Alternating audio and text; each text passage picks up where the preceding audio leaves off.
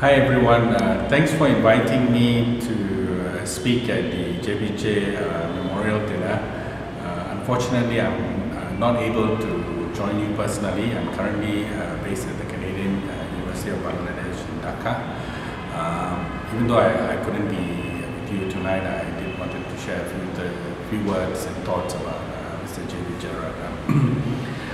I think for all of us who know Singapore politics, we would have uh, had some kind of contact with Mr. JBJ, um, whether you have uh, uh, witnessed uh, his debates and discussions in Parliament through TV, uh, whether you have listened to his speech in a rally, or bought a copy of The Hammer from him. and of course, in the later years, you know, many of us have come up to him and say hello when he was selling his books uh, all over Singapore. Uh, I have, like many of you here tonight, also, you know, been part of the JBJ experience in those ways.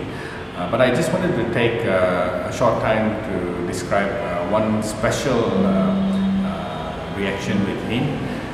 that was during the time when myself and few other members of civil society uh, organized uh, uh, Save JBJ rally. Um, this was done in part to raise funds to help helping staff of bankruptcy challenges. we organized what I think in modern times the first you know, non-election rally uh, at a stadium. Um, a lot of challenges there in terms of just the logistics and seeking permission. But nevertheless, you know, um, we had a, a decent crowd. Uh, some say 5,000, some say, you know, uh, 500. Uh, we were there on the ground. It was certainly uh, the, uh, on the uh, thousands.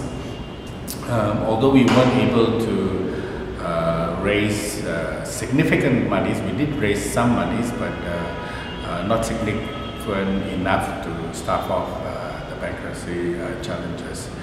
I think it's a good idea to have this memorial. I think it should be on a, a regular basis, not only commemorating um, you know, um, the life and experience and contributions of uh, Mr. J.B. Jeyaretnam, but also uh, it's also an act of standing up. I think uh, many of us in Singapore would like to have our voices heard and, uh, and all of you being here, I guess is an example of, you know, having your voices heard uh, again uh, through him or in his memory. Uh, with these short remarks, uh, I want to thank the organizers once again for giving me this opportunity uh, to share my thoughts and feelings about Mr. J.B. Jeyaretnam and I wish one and everybody um, an enjoyable evening and, and, and happy memories. Thank you very much.